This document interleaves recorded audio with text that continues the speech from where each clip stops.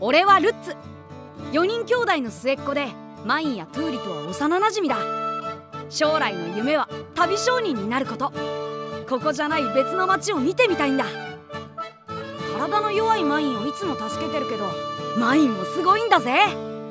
俺の知らないことをたくさん知っているしあいつの作ったパルーケーキはすっげえうまい。でもあんまり出歩けないのに一体どこで作り方を知ったんだろう。はあ考えてたら腹が減ってきた。またパルーケーキ食べたいな。本好きの下克上司書になるためには手段を選んでいられません。見てくれよな。